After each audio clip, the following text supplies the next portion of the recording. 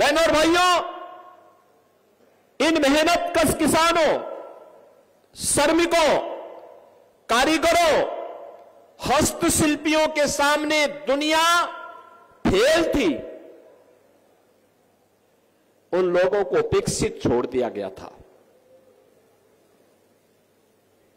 सपा हो, बसपा हो, कांग्रेस हो, इन सरकारों की दंगा पॉलिसी के शिकार हो गए थे।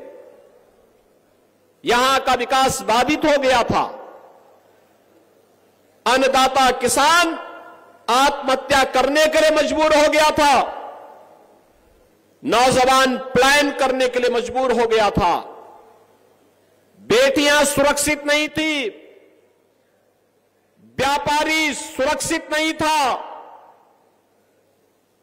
और जातीय खेमों में बांट करके लोगों ने सामाजिक ताने बाने को छिन्न भिन्न करने का काम किया था।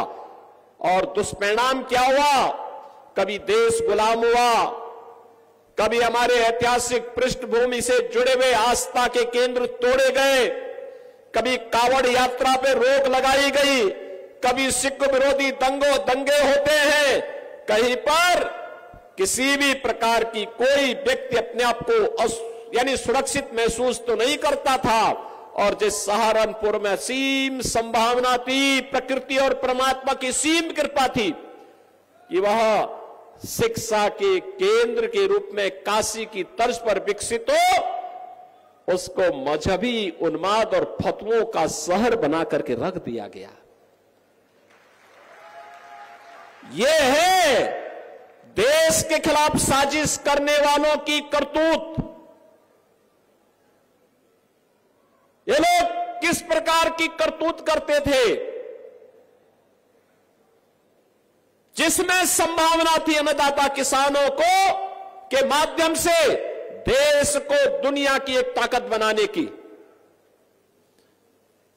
जिन हस्तशिल्पी और कारीगरों में ताकत थी कि दुनिया का सबसे अच्छा कारीगरी दिखा करके, वे भारत का नाम दुनिया के सामने करें। जिन नौजवानों के अंदर एक जज्बा था कि वह जीवन के प्रत्येक क्षेत्र में नेतृत्व दे सकते हैं।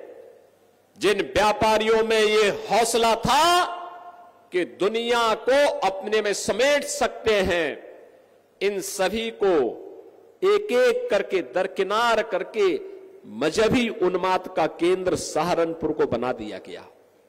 और बहनों और भाइयों गंगो भी उससे वंचित नहीं था। मुझे याद है 2016 में जब सिख विरोधी दंगे हुए थे यहाँ पर, आपने देखा नहीं इससे पहले क्या होता था? किस प्रकार की अराजकता फैलती थी? जब कावड़ यात्रा में बैन लगता था, तब तो कोई जातिवादी संगठन नहीं आता था। सबके मुँह सिल ले जाते थे।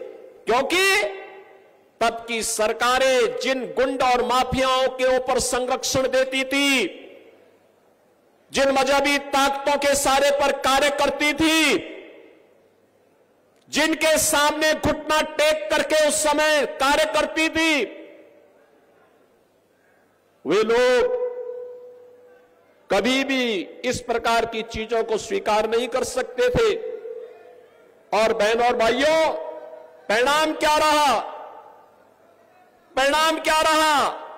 जिस बेटी को अपने माँ बाप के संरक्षण में अच्छी शिक्षा प्राप्त होनी चाहिए थी, बेटी तो जब शादी योग्य होती है, तभी ससुराल जाती है, नहीं तो माँ बाप के संरक्षण में अच्छी पढ़ाई करती है। उस बेटी को असमय हॉस्टल में या दूर रिश्तेदार के घर में डर के मारे माँ बाप की भेज देते थे।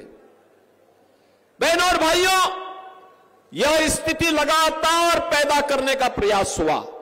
व्यापारी भी असुरक्षित था, व्यापार नहीं कर पाता था, प्लान करता था। किसान को उसकी उपज का दाम नहीं मिलता था।